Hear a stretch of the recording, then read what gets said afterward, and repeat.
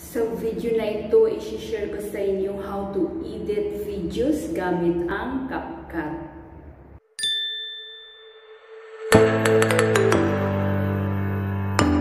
Hi guys! Welcome back to my channel. Kung bago lang kayo sa channel ko, ako nga pala si Annalyn Tapa. Welcome, welcome, welcome kayong lahat. At kung hindi pa kayo nakapag-subscribe, i-click nyo lang yung subscribe button sa baba at pakiclick nyo na rin ang bell notification para ma-notify kayo sa lahat ng mga videos na i-upload ko. Nag-upload ako guys ng mga videos tutorial, video tips, nang sa ganun ay may share ko ang kaalaman ko sa kapwa ko YouTubers, lalong-lalo na sa mga new YouTubers na nagsisimula pa lang gumawa ng kanilang channel. May mga videos tutorial guys kung paano ba gumawa ng intro, how to make thumbnail, how to make banner, saan ba kukuha ng mga music na hindi kayo makaka-copyright at marami pang iba guys na chop na makakatulong ito sa inyo. Ilagay ko guys yung link sa baba sa description or i-check nyo na lang sa playlist ko.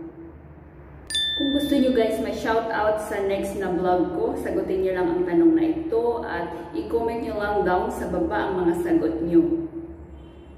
Ang topic for today, i-share ko sa inyo kung paano ba gamitin ang CapCut na app sa pag edit ng inyong mga video. Pwede siya sa iPhone, pwede siya sa Android, pero ang gamit ko is Android. Sobrang napakaganda ng apps na ito guys at free lang siya. Marami siyang tools na pwede nyong gamitin para sa pag-edit ng mga video nyo at ang kinalabasan ng mga video nyo ay napakaganda talaga siya at wala siyang watermark. Madali lang tanggalin yung kanyang watermark. Hello guys, nandito na tayo. Ituturo ko sa inyo kung paano gamitin ang CapCut. So una natin gagawin, punta muna tayo ng Play Store. Search lang natin dito ang CapCut. Ito na siya guys, CapCut. Ayan. Sa akin na download ko na. So i-open na lang natin. Kapag hindi nyo pa na-download itong CapCut na apps, i-download nyo muna guys. Pwede siya sa iPhone, pwede siya sa Android. Ang gamit ko is Android. Napakaganda ng apps na ito guys. At saka marami siyang free na tools na mapapaganda talaga yung mga video nyo. So, proceed na tayo sa next. I-open na natin kasi na-download ko na yung sa akin. So, pag na-open natin guys, ang lalabas is ito. Itong laman ng apps na ito, yung CapCut. So, nakikita nyo ito guys, mag-new project lang tayo. Ayan. Ayan. Click natin yung plus. Then, pupunta tayo dito sa ating gallery. So, ano ba yung mga video na gusto nyong i-edit? So, halimbawa, sa akin ito. Click nyo lang yan guys. Ayan, at dito sa baba, makikita nyo, add. Ayan. So, wait lang guys, para marinig natin.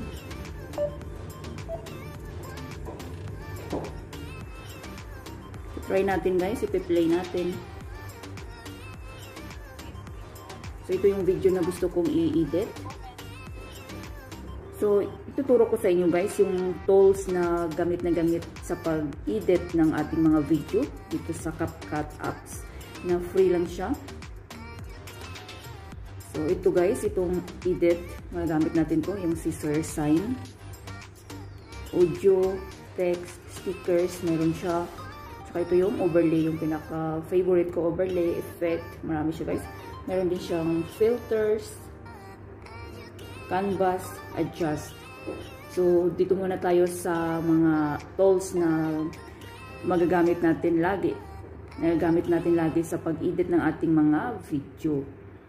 So, balik tayo dito sa edit. So, ito na yung video guys na gusto kong i-edit. So, dito sa side na to guys, syempre hindi natin isasali to, di ba? Ito. Ayan. Kung natin isali yan sa una. So, paano ba natin ikakat yan? So, dito sa baba, nakikita nyo guys, ito, namumove naman siya. Halimbawa, ito. Ayan, hindi ko isali yung pinakaunang video ko. So, nan ang gagawin natin is i-click natin itong edit. Ayan. Then, split. Ayan, nakikita nyo guys. Naghiwalay na siya. Mayroon siyang white dito. Then, i-click nyo yan ulit. Ayan. So, yan yung video na ayaw natin isali sa ating video. So, i-delete lang natin. Delete. Ayan. So, nawala na yung ayaw nating isali sa ating video. Kung gusto nyo pag i-adjust guys, yun lang ang gagawin nyo. At kung dito naman sa dulo, may gusto rin kayong ayaw isali doon sa video nyo, ganoon rin ang gagawin nyo. Ayan, diba? huwag natin isali yan. Siyempre, huwag natin isali yan, di ba? Yan, ganyan. Yan. So, paano ba natin tanggalin yan? Click nyo lang uli. I-edit. Ayan, edit split. Edit split lang kayo guys. Then, click nyo tong wait lang guys. Click. Ayan. So, pag ganyan na siya nang may white dito sa gilid, i-delete na natin. Ayan. So, nawala na yun siya guys, ba? At ang kagandahan pa nitong CapCut apps guys, wala siyang watermark. Ba? Mas maganda kasi yung video kapag walang watermark, mas more professional siya tingnan. So, ituturo ko sa inyo kung paano siya tanggalin yung watermark. Ayan yung watermark niya guys, yung CapCut. Sa dulo ng video nyo. So, paano ba tanggalin yan guys? Punta lang kayo dito sa baba. Nakikita niyo itong ending. Ayan, i-click nyo lang. Then, delete. Ayan, wala na siya guys. Wala na yung watermark. Ayan. So, punta tayo ulit dito sa isang tools. Next, itong audio i-click nyo yung audio guys. Then, sound. Kapag gusto nyo lagyan ng music yung inyong mga video. Pero be careful kayo dito guys. Minsan mayroon siyang copyright. Ayan, ang dami dyan guys. Halimbawa, pili kayo vlog. Ayan. Then, kung gusto nyo pakinggan, click nyo lang to. Maghanap tayo ng maganda-ganda.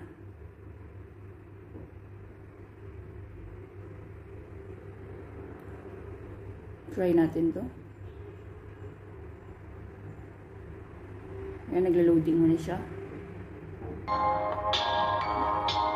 Ayan. So, kung gusto nyo i-add yan guys, ito, click nyo lang to, plus. So, mayroon na siyang audio.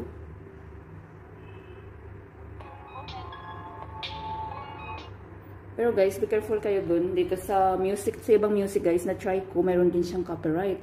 So, ang gawin natin, punta kayo dito sa, ito, from device. At saka kung mayroon kayong mga na-download na mga music na sarili nyo guys, so yun ang pipiliin nyo. Same lang. I-click nyo lang. Ayan. Then, add. So, ganyan lang siya guys. Kung gusto nyo rin pahinaan yung volume, i-click nyo lang to. Ayan. Kikita nyo volume. Then, mumove nyo lang siya. Ayan, 52, ganyan. Ayan. So, balik tayo ulit dito sa ito. Kaya dito na tayo guys, sa text. Ito yung isa sa mga favorite ko dito sa tools ng CapCut. Ayan, click mo lang yan. Then, add text. Then, pwede ka nang mag-add dito guys ng text. Halimbawa, uh, like. Halimbawa lang ito guys. Like, share, comment, and subscribe. Ayan. So, ito pwede siyang ma ma-move, mapaliit natin. Ika-crop lang natin gamit ng ating mga fingers, kamay. Ayan. Daliri. Ayan. So, pwede siyang paliit. Pwede rin siyang ma-move guys. Ayan. Kung saan ba natin ipipress. So, dito sa baba natin i-press to. Ayan. So, then i-click nyo itong effect. Marami siyang lalabas ng mga kulay. Yun. Design, mga kung ano yung gusto nyong i-design guys. Pili lang kayo. If ever ito, napili ko. Ayan, green. So, medyo palakihan natin. Ayan. Then, check nyo lang. Ayan, meron na siyang like, share, and subscribe. Then, balik tayo ulit dito sa ito sticker. Marami din siyang mga sticker guys. Kung mag-add kayo ng sticker, click nyo lang. Ayan. Halimbawa ito. Saan nyo ba mamumove din siya guys? Kung saan nyo ipwesto. Ayan. Click nyo lang siya. Wait lang guys. Ayan, kung saan nyo gusto ipwesto dyan, pwede rin siyang palakihan. Ay, ika-crop din natin siya. Ayan, ayan. Pwede din siyang lalaki. So, ayan. Din siyang sticker. Kayo na bahala. Then, ito yung overlay. Pwede tayo makapag-overlay guys. Mag-a-add kayo ng, click nyo lang overlay, add overlay. Then, mapupunta ulit tayo dito sa sa ating gallery. So, ano bang gusto nyong i-add na video ba or photos? Kayo nang bahala. Halimbawa, mag-a-add ako dito ng videos ulit. Kiklik nyo lang yan. Then, add. Then, ika-crop natin ulit. Ayan. Crop natin ulit siya. Saan ba natin ipwesto? Sa baba, dito. So, dito if ever. Ayan. Kasi pwede siyang mag-overlay. Yan ang kagandahan dito guys sa sa ating sa CapCut na apps. Then, effect. Ayan, meron din siya guys, trending.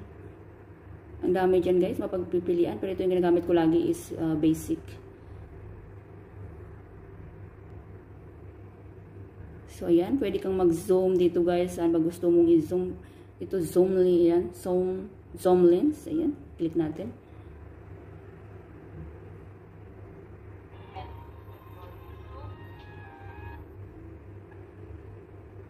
So, nagsa-zoom na siya, di ba? Ayan. So, yan lang talaga, guys. Sobrang ganda ng apps na ito, guys. At yun ang mga gamit na, gamit na mga tools na free na mapaganda talaga yung mga videos nyo. So, kapag okay na kayo dito, na-edit nyo na guys. Paano nga ba ma-save? Nakikita nyo itong arrow. Sa taas, i-click nyo lang. Then, sa baba, export. Ayan. Ayan, then, video being exported, keep CapCut open and don't lock your screen. Ayan, i-wait lang natin siya. Napakadali lang siya ma-save guys. Hindi kagaya ng ibang apps na ang bagal ma-save yung ating mga videos. Simple and very easy way how to use CapCut. Kung may mga question kayo guys, suggestion, request, just leave a comment down below at huwag niyong kalimutan mag-like, share, at kung hindi pa kayo nakapag-subscribe, i-click niyo lang yung subscribe button sa baba at i-click niyo na rin ang bell notification para ma-notify kayo sa lahat ng mga videos na i-upload ko. Always be happy guys, be positive, avoid nega. See you next time.